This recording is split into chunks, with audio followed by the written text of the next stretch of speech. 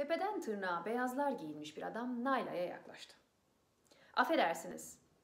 Nayla trenin ardından baka kalmıştı. Duymadı. Garip değil mi? Gayipten sesler duyan kadın gerçek seslere sağırdı sanki. Duymak istemediği için mi duymuyordu yoksa duymadığı için mi? Ama beyazlar içindeki adam pes etmedi. Israrcıydı. Hayır, tahmin ettiğiniz gibi olmadı. Adam kendini duyurmak için Nayla'ya yaklaşmadı. Yaklaşamazdı. Sesini yükseltti sadece. Bakar mısınız bayan? Size diyorum. Hey! Sonunda Nayla sese dönüp baktı. Adam korkutucuydu. Beyazdan böyle korkacağını düşünmemişti hiç Nayla. Bir süre bakıştılar. Adam, burada olmamanız gerekiyor.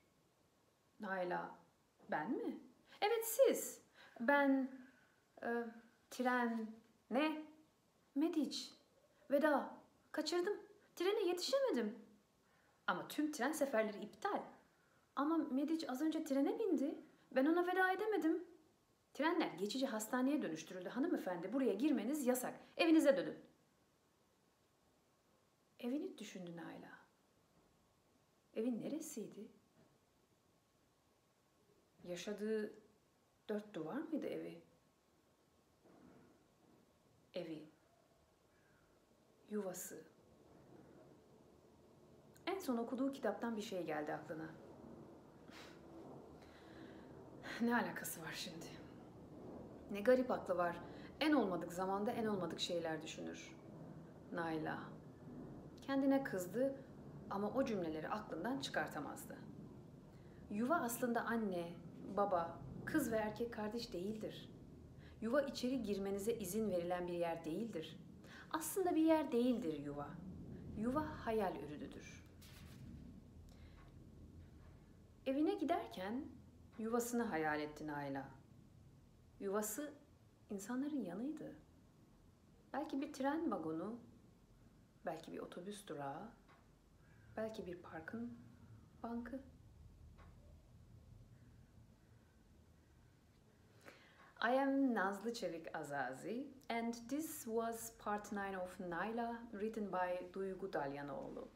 The Naila project is a part of International Quarantine Kunst Party 2020 where artists from all over the world are writing in a relay. Be sure to check out the previous parts, read by wonderful actors from all over the world, also in this channel.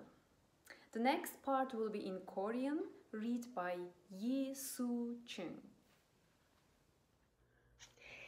I am Chang Sun.